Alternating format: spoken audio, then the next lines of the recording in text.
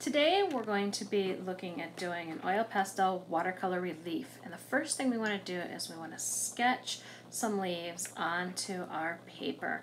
I'm going to start out by sketching um, a little bit of a maple leaf here and I want to make sure it has its three parts and it starts out big and then it gets a little smaller as it goes out to the tips. You don't want to forget the stem and some of the veins in there.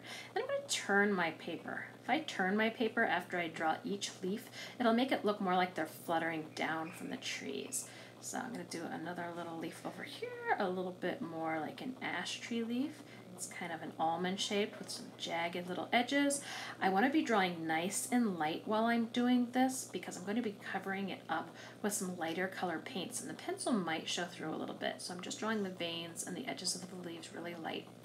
To turn my paper again before I start another one. I think I'll do a birch leaf this time and birch leaves uh, look like upside down hearts. If you make a mistake, you draw a little too hard or you get a line you don't like, just gently erase it off of your board. If you don't push too hard with your pencil, it shouldn't show up at all. I'm to put that center vein that feeds the water out to the leaf again. And then all of the smaller ones that go off to the side. There we go. A little bit of a droop to follow the shape of the leaf since that's where it needs all that water. Now I have some spaces along the edge, so I'm going to fill those in. Maybe I use the same shapes of leaves, but I'm just going to put like the edge of the leaf or the tip of the leaf in those big blank areas. We don't want too much negative space around our leaves. We'd like our paper to be well balanced. So I'm just going to tuck in a few little ones here and there. I might add in a few extra veins on here. And now I'm ready for the next part. We're going to be coloring these in with watercolor pencils. As you can see, watercolor pencils look like regular color pencils, except they say watercolor on the side. So when we're using our watercolor pencils, we're going to color with them just like we would our regular color pencils. You can even color a little bit lighter and more gentle with these.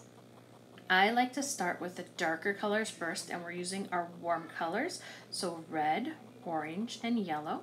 I like to start with red on some of my edges and at the deeper part of the leaf to make it look like it's changing color slowly like they do on the trees this time of year here in Minnesota and I just have to sketch it in and color it in a little bit because when we use these and we add water to them in a little bit, they're going to turn into paint and it'll fill in any of the gaps that are on there.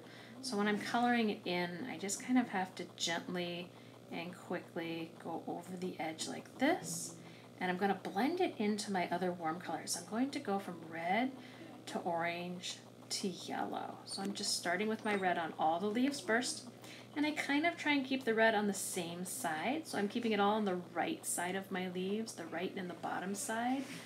This one I want to accent the veins a little bit more with that red. And I want to make sure I'm following those stems too.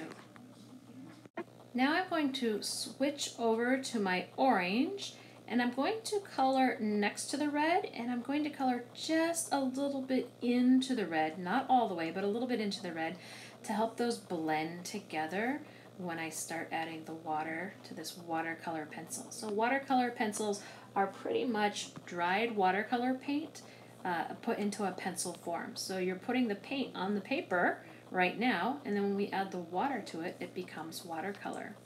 I'm going to do the same thing when I switch to yellow. On this leaf, I want to make half of it orange, so I'm going to go ahead and color in half of it. And for this, remember, usually we talk about smooth coloring and not leaving any white spaces. You can leave a little bit of white space when you color with these because when they become watercolor, they'll fill in those white spaces.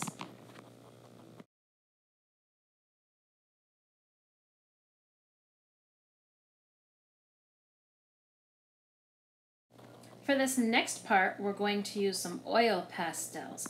We started with our warm colors for red, orange, yellow. We're also going to add brown now. That's one of our warm colors. Uh, so here we go. And we're going to use these to trace around the edges of our paper. So I'm going to use brown. And I'm just going to add a few accent lines only around the edge of our leaves. Maybe with some of the veins a little bit. But I don't want to use too much brown and muddy it up.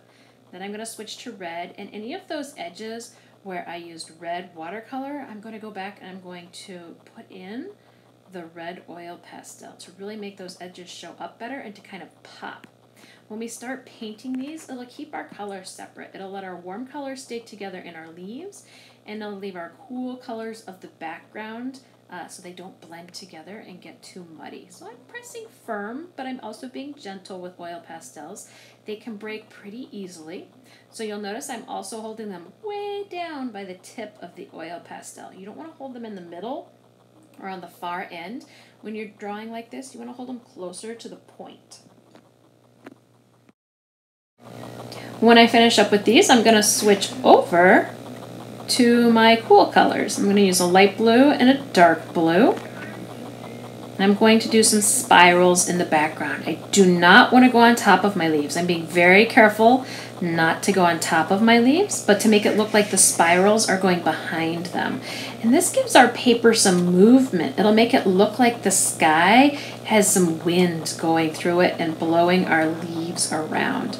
I'm going to use the light one and the dark one. So I'm going to do a couple of light ones first, and then I'm going to go in and swirl and do some spirals for the darker one. Again, I'm being careful not to go on top of my leaves. I'm going behind them because the wind is blowing behind them.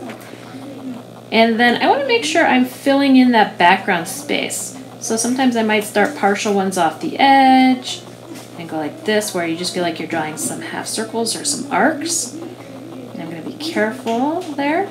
And now I want them to bump into each other. So I'm going to keep going with those oil pastels until it starts to bump into another color, like right here. Be really careful. And then I'm going to skip over here and do a little bit more until it bumps. And I'll keep adding those in, and then I'll switch back and forth between the light one and the dark one until I have my background filled in with those spirals.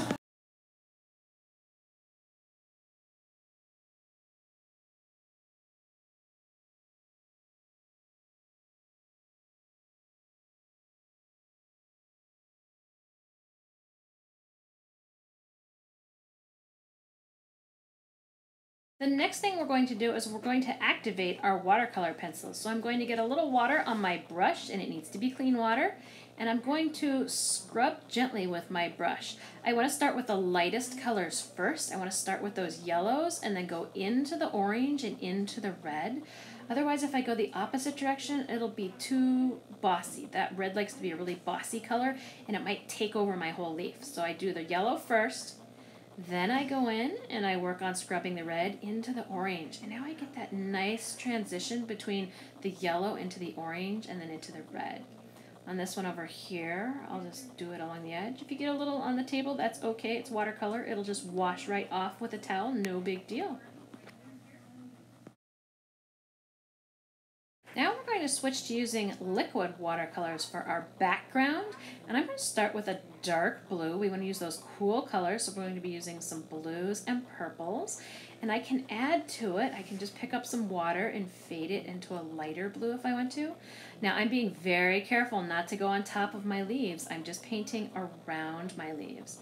Then I can pick up some purple and I can blend that purple into the blue a little bit. And just keep going around my edges, being careful not to go inside the leaves. We want to keep those cool, windy colors outside. Then I can pick up some blue and put it right in here. I'm going to be very careful. I'm going to use the pointy part of my brush right here to go in between those leaves. I don't want it to overlap. I'm going to keep my warm colors warm and my cool colors cool. Now this blue paint is a little thick up here. So I'm going to get some water, and when I add water to it, I can spread it out a little more and thin it out. So that oil pastel you can see in the background is pushing the watercolor off. And it makes it look like it has really neat swirls. And I just keep changing colors back and forth.